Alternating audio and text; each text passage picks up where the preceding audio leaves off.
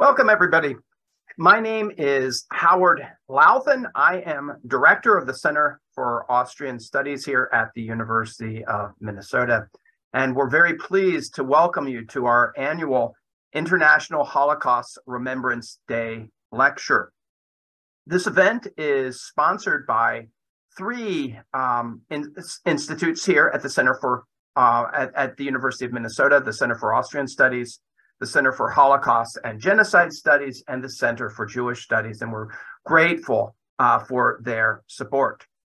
Our speaker today is Dr. Andreas Kranebitter, who was most recently a fellow at the U.S. Holocaust Memorial Museum. We uh, discussed the possibilities of bringing Dr. Kranebitter out to uh, Minnesota in person. Unfortunately, they did not work out, and he is joining us today from from Vienna. Um, perhaps a, as as we were just discussing a moment ago, not a bad thing when you wake up in the morning and it's it's it's minus six degrees Fahrenheit outside, if not even colder. Uh, but regardless, we're, we are delighted to, to have Andreas with us today. Andreas is a political scientist and sociologist. He's currently serving as the head of the archive for the history of sociology in Austria at the University of Graz. But uh, in a very welcome move, he has just recently been appointed the new director of the Documentation Center for Austrian Resistance in Vienna, which is really a, a marvelous position, a position that he will begin in, in April. Um, Dr. Kranebitter is a very uh, productive scholar, uh, far too long a list of monographs and articles to uh, to highlight. Uh, but briefly, um, recent publications include authoritarianism, ambivalence, ambiguity, uh, the life and work of Elsa Franco Brunswick, uh, which will come out as a special edition of the journal Serendipities, Journal for the Sociology and History of the social sciences. He is also at work on a monograph, The Construction of Criminals, the Imprisonment of Professional Criminals in the Mauthausen concentration camp. With that said, let me turn things over to Dr. Kranebitter, who will um, who will take us forward with the talk today. So thank you, Andreas. We're again very pleased to have you. Thank you oh, very much. Let me say one other thing, just logistically as as well. We will be using the Q and A box for any questions that you may have. So during the lecture, uh, as questions come up, please please use that. And then after the talk, we'll be having some time, of course, for Q and A uh, through that means. So thank you. Okay, once more, over to you. Thank you very much, Howard, for this introduction, and thank you also for the invitation. It would have been a pleasure to take part in person in Minnesota, but not only due to the weather report, but also due to the fact that I just moved back to Europe and, and a bit jet lagged. It's probably really a good idea to do this on Zoom. So thank you. Uh, I also want to thank the Center for Holocaust and Genocide Studies, the Center for Austrian Studies, and the Center for, for Jewish Studies for the invitation as well. As you mentioned it's the united states holocaust memorial museum in washington d.c for the opportunity that uh, they provided me with this fellowship uh, and the research that i could do in 2020 and 2022 which i will present to you right now in this lecture. So let me try to share my screen. If this works and try to just Mm -hmm. So let's see this way. So what is this research about? It is about uh, early research on concentration camps before they were history. This means before, while, or immediately after liberation. So many of the reports by survivors were done by survivors who have been trained as social scientists or were later on becoming social scientists. This is for the one part. The other part is, which I want to focus on right now, uh, research done under the labels of propaganda or psychological warfare for intelligence reports written by GIs, by members of the US Army, of the so-called Psychological Warfare Division, PWD, of the Supreme Headquarters of the Allied Expeditionary Forces, or the Office of Strategic Services, OSS, or other institutions in my view, so despite this kind of negative connotations that you have with propaganda and psychological warfare, many of these reports were collected in a genuinely sociological way and have produced insights that are relevant for today's research on concentration camps, as well as on the broader question of how to study genocide right after it happens in a social scientific way. At the same time, for me, um, focusing on those who did these reports uh, means researching military and intellectual uh, resistance against national socialism. From the perspective of a sociology of knowledge, this research could be called a third culture of knowledge production, which means that it's not on the one hand a knowledge production, more of this individual literary evaluation of events and not juristic on the other hand. So it's not concerned with more or less sensational news as journalists had to be to whatever consent uh, extent not concerned with individual responsibilities of crimes as the war crimes investigation teams had to investigate. It is not concerned with the literary processing of one's own um, experience of the Holocaust at the camps in general, but it is a social scientific, and this means a methodologically thoughtful investigation into collective experience, aiming at a theoretical understanding of a phenomenon like the concentration camps. This kind of research uses statistical methods when, for example, estimating German casualties. It used interview techniques when interrogating German prisoners of war or civilians, and also to interview uh, the liberated concentration camp prisoners in order to understand the way of average German opinion, the soldiers' opinion, and also some kind of uh, average opinion of concentration camp survivors of the so-called prisoner society. It considered sampling methods when um, selecting so-called informants due to gender, social class, occupation, regional origin, or previous membership in political parties. And it used social psycholo psychology when analyzing this interview material. The reports on concentration camp were written in this context of intelligence uh, work that was done. The picture you can see here is, for me, some kind of visualization of the social order of uh, the so-called elite, uh, the, the so-called propaganda.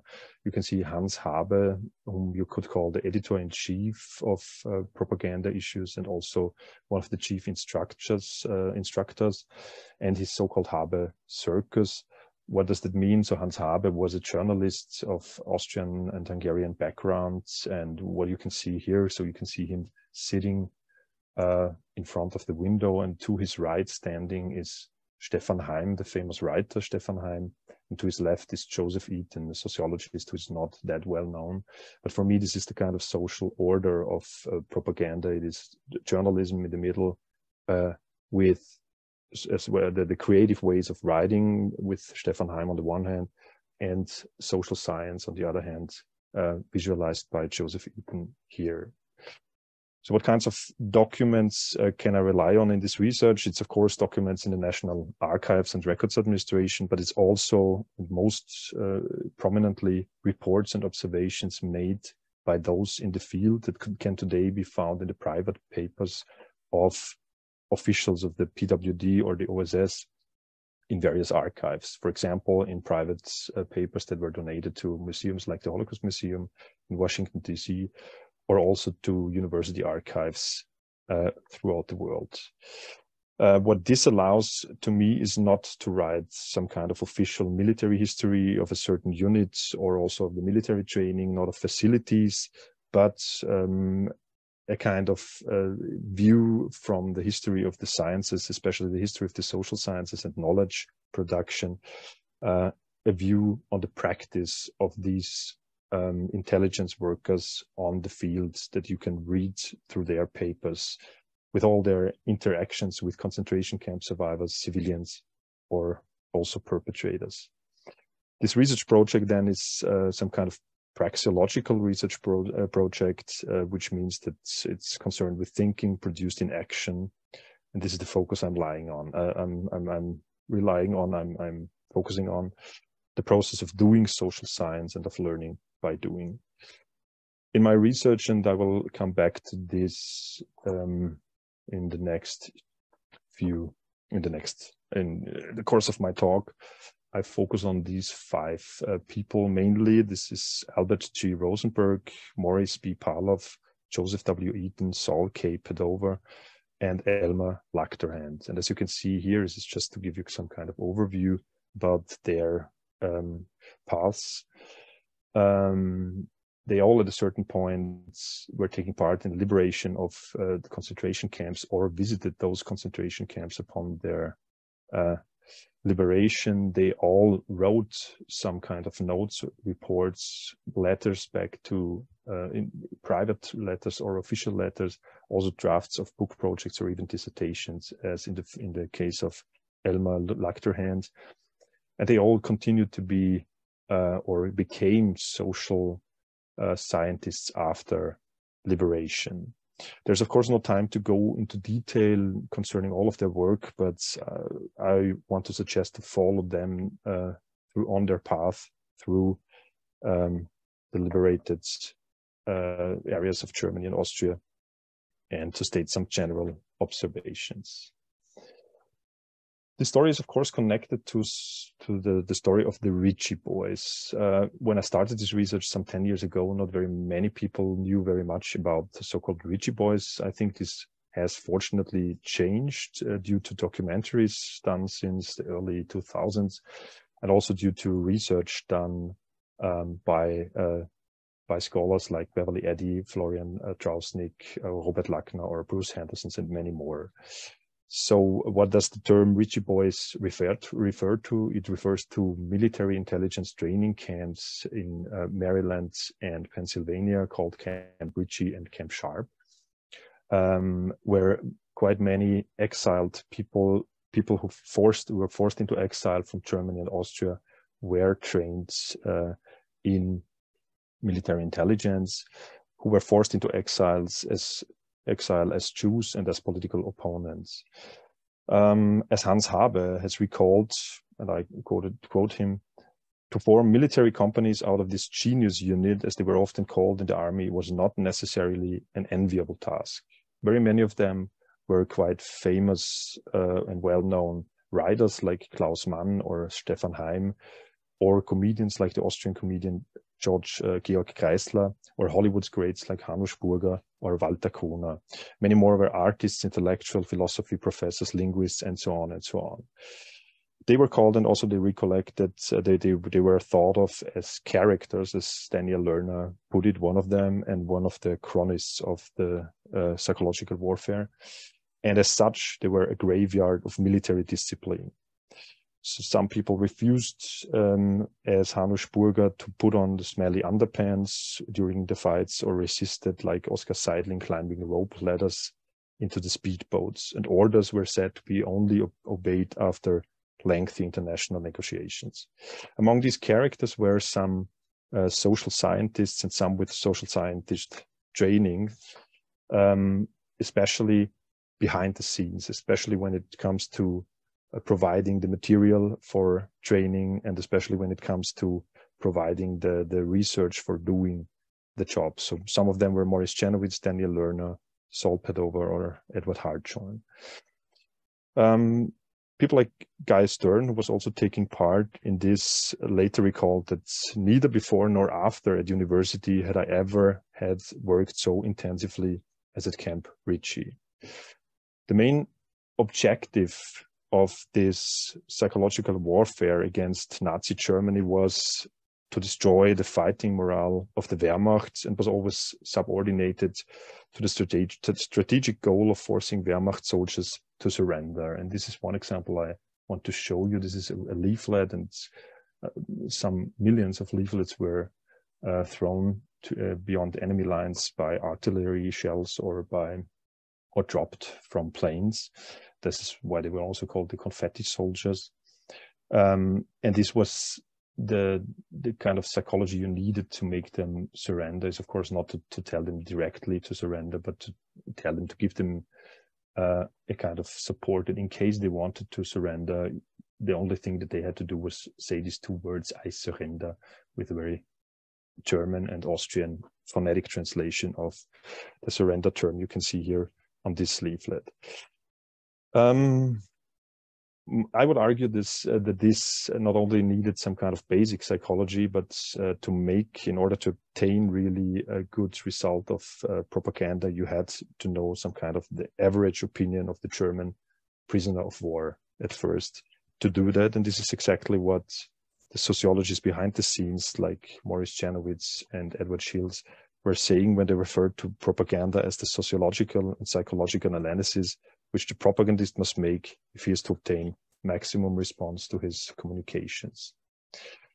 Shils was also someone who was very knowledgeable of the contemporary literature on National Socialism, as he was the translator of Ernst Fraenkel's Doppelstaat, and he was also someone who compiled a questionnaire together with Henry Dicks, a British um, uh, psychiatrist, aiming at quantifying this uh, opinion of Wehrmacht soldiers.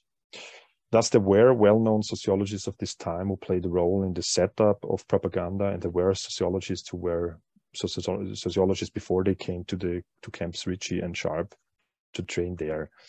However, I would argue that it was not the training that made them social scientists. Um, it was a training of eight weeks, which uh, was set up quite hastily, contrarily to what uh, some official, more official histories of the US Army uh, would want to make believe with a lot of improvisation.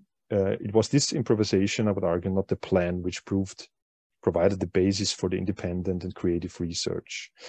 So the training at the MITCs was an eight, eight week program, including uh, not only interrogation techniques, but also interpreting aerial photographs and maps, um, the enemy order of battle, close combat, and so on and so on. The question is not only what you can learn in eight weeks, but it's not a college degree. And we know that it's not a college degree making you a social scientist, but it's the practice of being a social scientist making you one.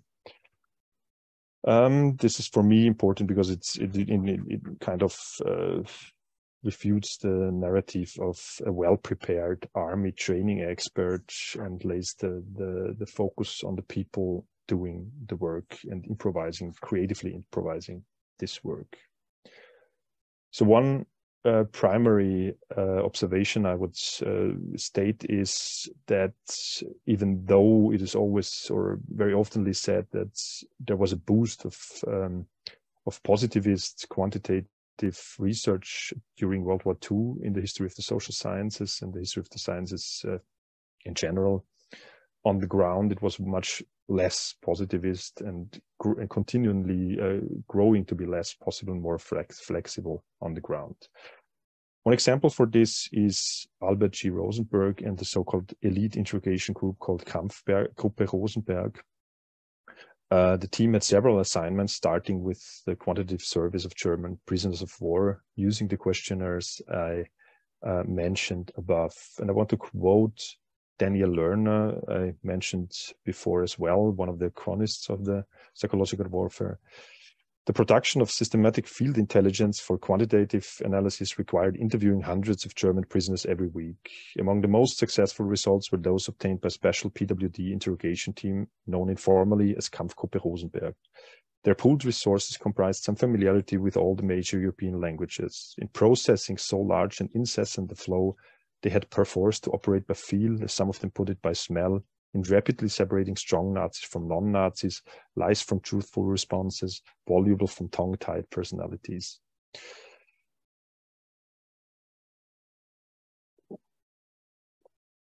This means that you can argue, of course, what this kind of project is, but it's not positive is to tell people by feel or by smell, but it is a much more subtle way of doing research in order to do this intelligence job. So I would argue that once Rosenberg's group was literally in the field, they abandoned this quantitative focus for more pragmatic approaches since the schedule of this research was set by the enemy, by the Nazi and the, the Wehrmacht and the SS, and not by academic uh, social science. This is important to me because Rosenberg uh, and this is something you can get out of his uh, reports quite clearly, um, was developing very creative ideas of doing research. So when he came to POW camps, it wasn't really uh, possible, even though he was himself born in Göttingen and uh, from German uh, descent, he was not able to gather all the information himself. It was even getting dangerous at some points. So what he did was to develop this idea of assembling a reliable anti-fascist POW group that was as representative as possible in terms of region, class background, and rank, who would subsequently assist in collecting data by doing the research themselves. And this is especially what he did as well when he was assigned the task of um, uh, providing a thorough investigation of the concentration camp Buchenwald after liberation on April 11th. So when they started to get there in April 16th, the first thing they did was to compile this group of former prisoners, helping them to compile report, reports. And this is the so-called Buchenwald report, which I came uh, will come back later to, which is impressive because it's the first uh, social scientist study of concentration camp at all, with 168 reports from 104 informants. What they did is develop then an own methodology that was going way beyond what they were trained in or what they were supposed to do.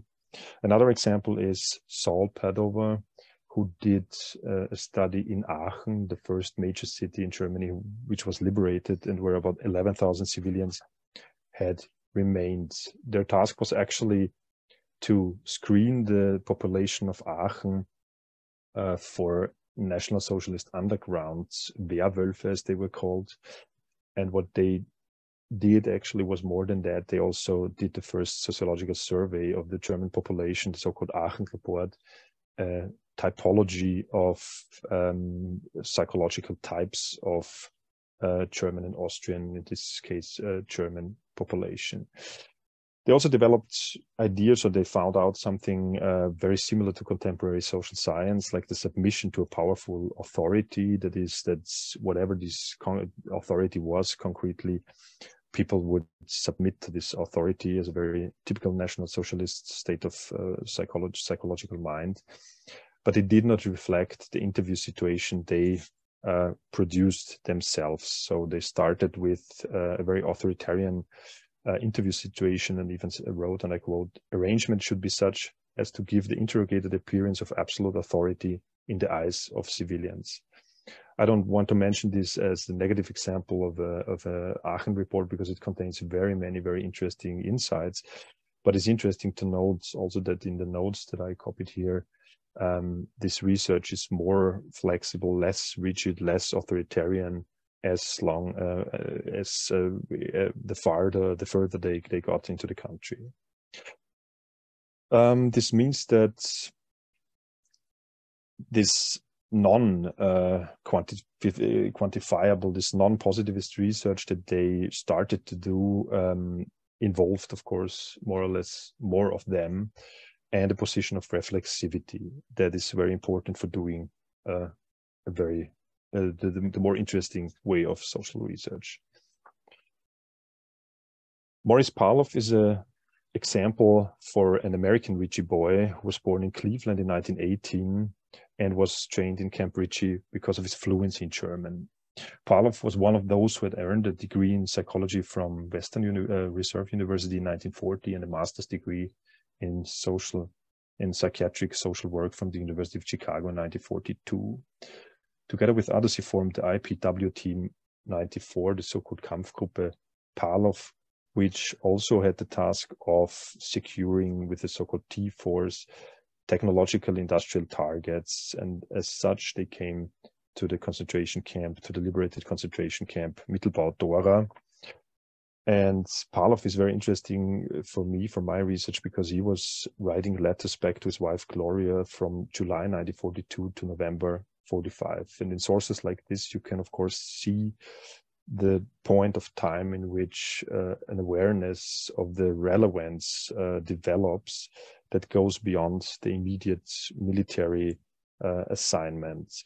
It's uh, awareness for the historical significance of the events that they lived through, but also sociological significance of the military activity itself.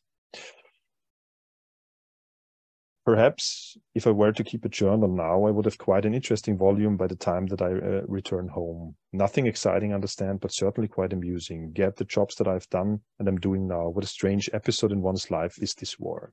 A quote from one of his letters. What you can see here is that there is a desire to also record one's experiences in a field diary and to later publish it. Um, and it also illustrates the desire to place the event in one's own biography. Um, in my view, this shows very good that it was the activity of the interrogation teams more so than the military training that made that transformed, if you want, uh, the theoretically educated psychologist into practical social scientist. Another example would be Joseph W. Eaton. Quite unusually, Eaton was driving his jeep from Luxembourg to Theresienstadt on May 9, 1945, which meant that he was not only crossing the borders between the American zone and the uh, Russian, the Soviet zone, but also that he visited uh, Theresienstadt, the ghetto Theresienstadt, the last ghetto, as um, Anna Hájková has called it, just one day after its liberation. In addition to the personal um, search for relatives, and Eaton found the name of his grandmother on one of the lists of people who died at Theresienstadt. The task was also some kind of humanitarian repatriation of Allied survivors, as well as the first description, as far as I can see, of a of a um, liberator of Theresienstadt. In an 18-page paper called Theresienstadt Port of Embarkation to Death, he wrote very extensively and very uh, interestingly about Theresienstadt and also uh, started to work on a book project he called The Psychology of DPs, in which he reflected um, his own feelings uh, towards the DPs and also refuted what he called the easy generalizations by the armed forces themselves. What I just want to say about this is that they were, um, as I said, at some point uh, having uh, the historical significance of the events as well as the sociological significance of their tasks. Why could they do that? Because they had to reflect their own position within the US Army, being, as Albert Rosenberg said, um, always or very oftenly conceived as abnormal. Um, I quote him saying, We were very often not very welcome because we were outsiders. As Beverly Eddy also wrote, for different reasons, as, as Jews, as non Americans, as former enemy aliens, as communists, as Native or African Americans, many Ritchie boys were social outsiders. This made them, I would, I would argue, more aware for racism and anti-Semitism, not only in Germany and Austria, but also within the US Army and put them into a position of a critical distance to their own institution. This means that the tasks that they were uh, pursuing were, of course, assignment, military assignments, but also pursued in their own way of role making after role taking uh, they were working as outsiders from within, you could say. Again, a good example is uh, Joseph Eaton. When he wanted to go to Buchenwald, he just wrote or he said in an interview, so I decided I would go to Buchenwald. All I had to do was to tell Captain Habe I'd like to go to Buchenwald. He said, fine. I got orders, you know, within a few hours and the driver and off we went. Uh, very much the same is true for his assignment for Theresienstadt. And of course, it's always uh, necessary to be critical of every source you find, especially of uh, interviews. But I think it's safe to say also from other accounts that this shows considerable freedom to do their job, a kind of relative autonomy, not seldom in conflict. And this is very important with other parts of the armed forces, most of all the military government structures. This means that um, if they wanted or not, they had to think uh, about habitus and identity, not only of others, but also thinking about their own roles. Um, Maurice Parloff, I mentioned before, noted down what he conceived as irritating conversations with and interactions in his letters. A recurring theme there is uh, a psychological derealization of the situation by German civilians. At the end of April, for example, uh, he meets two young German girls who claim that Americans will never reach uh, Germany. Puzzled, Parloff looks at the other GIs and asks who she thought we were, if not Americans. The same is true for a postman who delivered mail to a house that no longer existed, a civil servant greeting him with the Hitler salute, an armaments manufacturer asking when he can start producing armaments again. In all these irritating interactions of post-Nazi mania of essentialization, Parlov is addressed alternatively as an American officer, as a Jew, or as someone with Russian roots. So if he liked it or not, he had to think about questions of identity to the point of exhaustion. In one of his letters back to his wife, he wrote, I believe I have reached the saturation point. I'm tired of the civilians or any other German civilians. With German civilians, one is never able to forget that one is a soldier. I want to forget. Lucky for us, he didn't forget, uh, but contrarily reflected on his own position and on his encounters with Germans, German prisoners of war, and also with liberated uh, concentration camp uh, prisoners and those who were later to be called um, uh, displaced persons. Um, he was also, and this is very important, uh, reflecting on his own feelings towards uh, them, also reflecting his own anti-Semitism, as he himself called it, uh, since he didn't want to be identified with those liberated whose behavior was irritating to him as well. And one example I want to read uh, in full, if I have the time, uh, is this because I think it shows very, very clearly uh, the combination of a humanitarian as well as a social science uh, perspective that can really make a difference in writing about Germany, Austria, and uh, the liberated concentration camps. I quote, I then went down to the division and spoke to that character. He's going to one of those army officials uh, that uh, tried to do a resettlement of displaced persons of the Mittelbau-Dora concentration camp and was surprised by the fact that uh, displaced persons didn't want to be resettled uh, without being asked. Um, I've spent few such unpleasant moments. He was not only impolite, but definitely insulting. He explained that he didn't give a good blankety blank blank damn whether the Jews were taken or not. The only point that he could remember was that they had been given an opportunity to leave and had been either too stupid, too cowardly, or too disinterested to leave. Any attempt to remind him of the horrors that the people had suffered, of the effect that had had on them, of their ability to think clearly, of their lack of motivation, of their fear was interrupted with cries that he was not in the least interested. I explained that the people wanted to go south. Impossible was the answer. Finally, he said, things don't look too good for your brethren. I guess that was supposed to be a dreadful insult. Somehow it didn't bother me. As I have said before, I had a dread of being associated with these Jews. Perhaps it was the fear that if I were actually like these Jews, then I too might yet suffer a similar fate. But now that the association has been made, I feel more relaxed. I think this is a very interesting passage of a letter that he wrote back because it shows in its entirety, entirety some uh, points that I want to make. First, American policy towards displaced person is here experienced as haphazard. Second, if these decisions were made by officers who followed only the logic of military logistics without giving any thoughts about uh, to psychology of those affected, um, or even even only talking to them, this cannot work. Thirdly, the non-functioning then fuels the anti-Semitism of the American commanders, in this case, the Southern commander.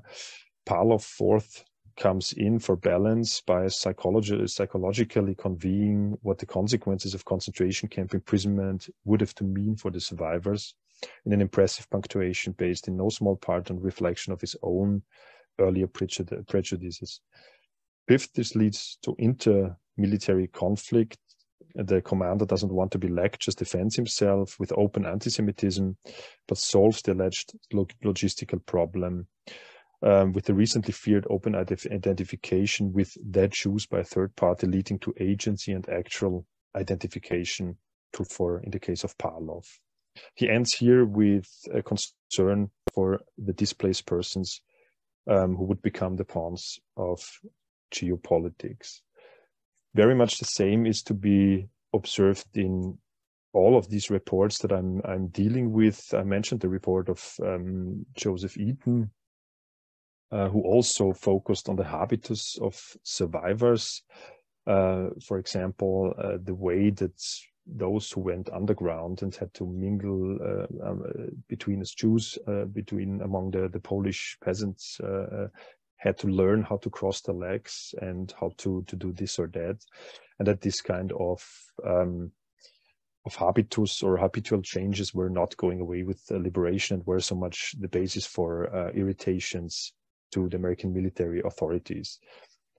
Uh, what you can read in the case of his report about Theresienstadt uh, is a very complex, differentiated, and sensitive report mentioning the cessation of menstruation uh, due to interviews with uh, female survivors, also describing the Jewish Ältestenrats, whose members he described as tightrope walkers in a very much more differentiated way than uh, decades of post-war accounts and and uh, uh, historical research has done.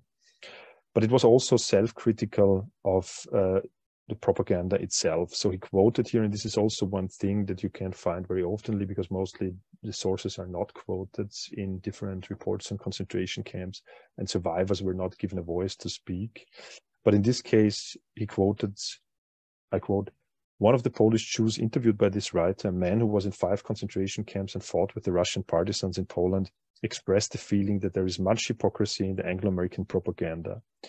You take our pictures when we are dead, heaps of skeletons that make the stomach turn. Your statements vie with one another in denouncing the atrocities of the Nazis. But when we are alive, you have a chance to do something constructive for the tiny fraction that survived. Your ears and hearts are closed. This shows also that Eaton uh, not only allowed uh, a survivor to speak in his report, in his 18-page uh, report, but also that he was criticizing the very own propaganda for which the psychological warfare division was responsibly call, uh, responsible, calling it uh, partly responsible for the non-existing policies towards uh, the DP question. So um, since time is running out, I think that this also shows the reason why the reports have not been used that much, not only by historical research, but also by the very propagandists that they were uh, compiled for. So it's a question of silencing and silence, um, unifying the five men I deal with.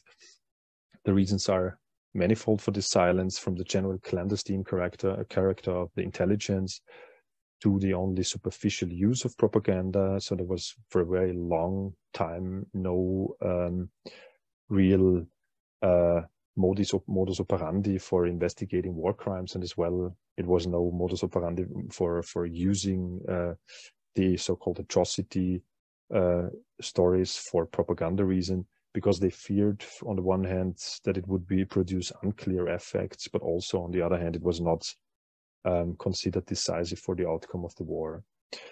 Um, after the war, you also had the story of this way too critical reports not being of official use for uh, psychological warfare, which quite uh, suddenly after 1945 uh, began to be prepared for the Cold War. This is a question of the Buchenwald report, which was considered too leftist, too critical, too communist friendly. And uh, the way the Buchenwald report was used was in this uh, case by Eugen Kogon, who was compiling this report for Albert Rosenberg and later writing his book, Der SS-Staat, The Theory and Practice of Hell in English, which became well known and widely read. Um, the question of silencing and silence is also, if I have uh, one minute, uh, something that's very interesting for me as a historian of the Austrian of Austrian sociology that you see that not necessarily those five people that I deal with, but others were, of course, um, carrying out different activities after 1945, working for the CSE, the OSS, the research and analysis branch, the critical theories working there, working for the war crimes investigators at the Nuremberg trial, but also in the military government, setting up newspapers or surveying political attitudes of Germans and Austrians in the information services branch, uh, also something that really turned into a research uh, institutionalized in the Institute for Research into Public Opinion, which became the Austrian Gallup Institute in 1949. But Austrian sociology didn't choose to take this as the starting point of sociology after 1945, but only referred to uh, academic sociology, which was not only conservative, um, but was authoritarian in many ways and was also uh, even post-Nazis or post-fascists uh, after 1945. Um, this is one example. Franz Ronneberger, who was a German sociologist, also working during the war in uh, St. Lambrecht, uh, which was a subcamp of Mauthausen uh, in Austria, in, the, in Styria, uh, and was doing research on Southeast Europe uh, in this subcamp, where you, that you can see in the middle. And after the war, he was writing a book, a well-known book about uh, sociology, but not under his own name, but under uh, but but under a pseudonym, uh, which he chose to be Stefan Lambrecht. The abbreviation for this is Sankt Lambrecht. So what I want to state with this is that Austrian and German sociology uh, consisted of people sometimes that were calling themselves after a subcamp of a concentration camp, but did not at all uh, refer to the very interesting sociological and social scientist works done by survivors as well as liberators when they came to the concentration camps. I will leave it at that and thank you very much for your attention.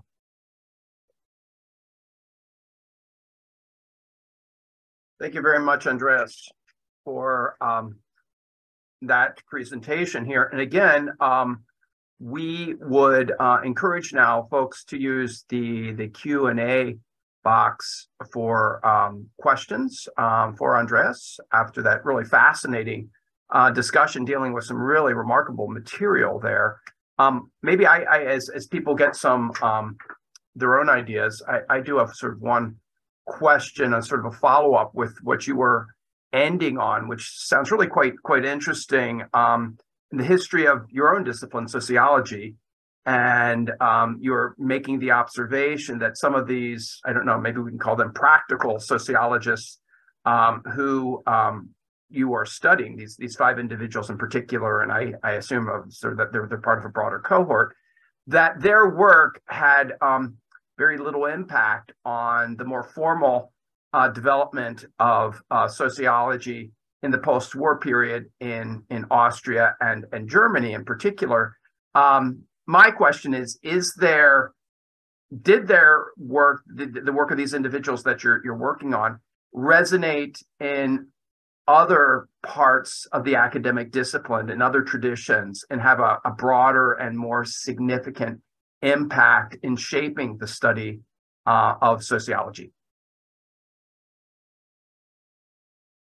Thank you very much. This is a very interesting question that haunts me also uh, for a long time now um, I'd say the impact is not uh, that great. So it's an indirect uh, impact, as you can see in the case of Eugen Kogon, that uh, their research was flowing into their books, but also uh, right now it didn't really shape uh, sociology. It shaped more the history of the of, of concentration camps and the the research on concentration camps, but not so much sociology. So you have also sociologists in the 1980s and 1990s uh, writing from a sociological viewpoint about the concentration camps who did not refer to this earlier research, even though it was findable, even though it was published in some instances.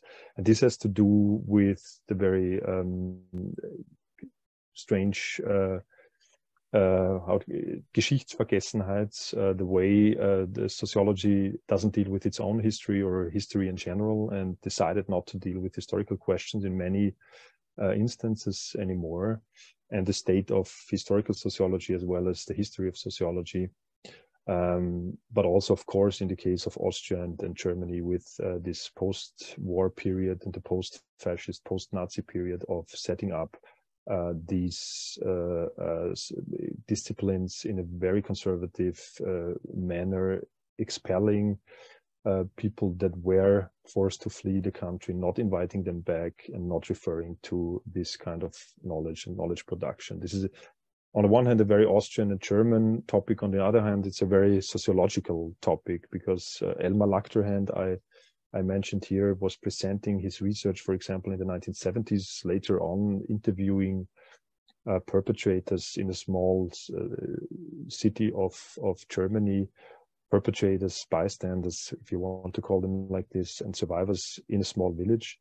and when he presented this to an oral history or to a sociology conference, uh, he was asked, or, or, or, the audience was asked to observe a minute of silence, which is a very uncommon, unusual kind of reaction to, to sociological research. And I think this is very symptomatic for the way sociologists would know how to deal with research on National Socialism at all. So this is, this is, I think the answer would be twofold. There is a very special Austrian and German problem uh, to this and uh, also a special problem within the, the social sciences, the disciplines. Great, thank you. Um, we have a question uh, from Joachim Savelsberg. Uh, he, he writes, how did the studies you describe address the fate of those stigmatized back home, especially inmates with the pink triangle who suffered the highest mortality rate in the concentration, not extermination camps, and experienced massive discrimination also after their release. Yes, thank you very much. This is also a very good uh, question. There's, of course, not one single answer to this. But as I said, in the case of the so-called uh, Ältestenrat in Theresienstadt, uh, this research is much more subtle and much more uh, complicated than much of the research done later. So, for example, uh, Luchterhand, I mentioned also, uh, interviewed survivors in uh, United States, and among these uh, survivors were people of uh, categories of SS categories who were neglected in historiography for a long time. I don't remember someone with the pink triangle, as you mentioned, but I remember uh, one so-called criminal prisoner and one so-called uh, anti-social prisoner in in Nazi uh, um, words. So there were even people uh, who they interviewed and uh, stories that they told and wrote about, which are much more interesting than much you could read after that. But uh, of course, it's not that that elaborated. So in the case of the Buchenwald report, you can see this um, an interesting uh, fact uh, concerning also the the um, uh, supposedly or, or, or or real homosexual uh, prisoners of the concentration camps is that uh, one of one report in the Buchenwald report was written by someone who uh, Albert Rosenberg uh, in his private papers called a homosexual prisoner or referred to as a homosexual prisoner. And he was writing about the fate of the homosexuals within Buchenwald. And Eugen Kogon later on took this text and uh, included it into his own text, changing the position of the writer uh, without reflecting on how this change of the position would change the meaning of the text. So it's it's a long story. It's maybe too long for for explaining this, but my answer would be that there is a lot of subtle research uh, in this early research to be found, which was later on either forgotten or not referred to anymore, or even uh, used in uh, in dubious ways. Thank you. I'm wondering if you could say a little bit more about the cohort um, of the five individuals that are, are forming the basis of your study. I, I would assume that you could have gone in, in a different direction. You're pulling, I guess, from some of the, the Ritchie boys and and um, how large a cohort is it? And and could you have chosen a completely different set of researchers, which would have given you a very different perspective on your problem? Yes, this is also a very, very good question. Of course, the uh, the sampling that I did is not as sociological as uh, dictated by the sources I can use. So um, this is to me the five most important, five most interesting uh, cases producing this kind of knowledge, and also uh, of people who also became social scientists after the war. So there is, of course, there are tons of collections of uh, other Ritchie boys as well as OSS or um, OWI or whatever um, institution they come from, uh, members, which you could also use on.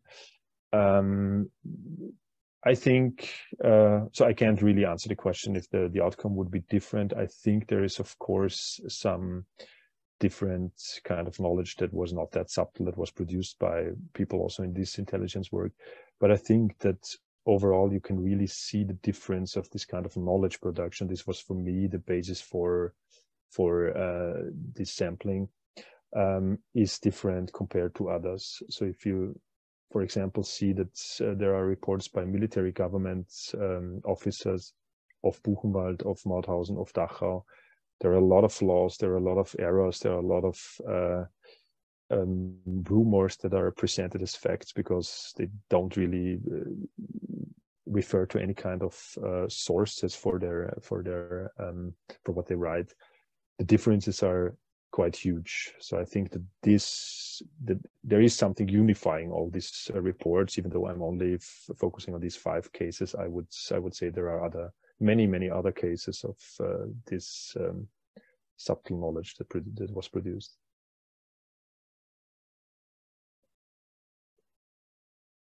I mean, thank you very much. Um, I, I, actually think that's it then with with the the questions. We um, thank you very much for. Uh, again, I'm sorry that we we couldn't host you, um, though. I think um, it all worked out for the best anyway. Um, we're we really look forward to the the publication of your work and and how this study will eventually come out. Um, thanks for giving us a snapshot, an introduction to it, and we uh, look forward to further contact in the future. So I'm sure I can say on behalf of all our participants and listeners today, thank you very much for taking the time and and being with us today. Thank you very much again for the invitation. It was a pleasure.